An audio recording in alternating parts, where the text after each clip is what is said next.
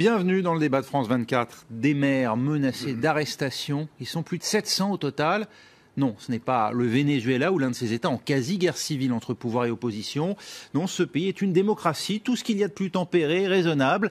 Ce pays, c'est l'Espagne, confrontée au désir d'indépendance de sa province la plus riche, la Catalogne.